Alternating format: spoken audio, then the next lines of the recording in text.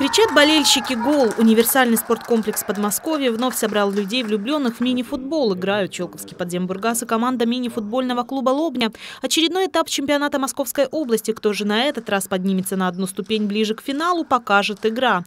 И вот команды приветствуют друг друга. Еще несколько секунд и начали. Чемпионат уже в разгаре. Это э, последняя игра второго круга.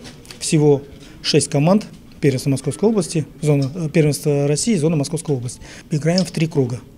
Команды Видная, Лобня, Климовск, Чехов, мы и Мытищи. Сейчас мы располагаемся на третьем месте, делим третье-четвертое место вот с командой Лобня как раз.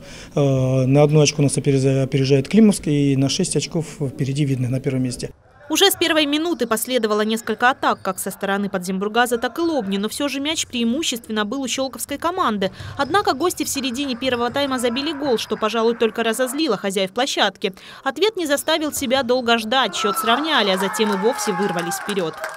Итак, конец первого тайма на табло счет 2-1 в пользу Подзембургаза. Уже совсем скоро игра будет продолжена.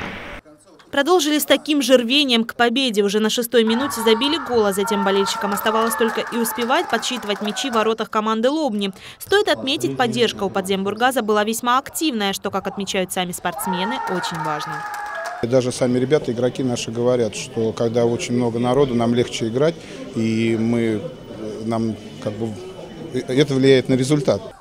В этот день «Фортуна» была явно на стороне щелковской команды. Второй тайм завершили со спортивной злостью. На последних минутах забили сразу три мяча ворота Лобни.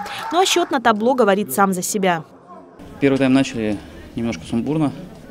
Не могли забить, пропустили. Но, видимо, вот этот гол пропущенный как раз и дал стимул забивать. Ну и сами видели 10-1 концовку. Ребят дожали, но им тяжело было, их 7 человек, поэтому у нас более глубокий состав, поэтому мы свое взяли сегодня. Однако еще не финал, впереди третий круг чемпионата, ну а кто станет победителем, покажет игра. Анна Бальет, Сергей Василевский, телерадиокомпания «Щелково».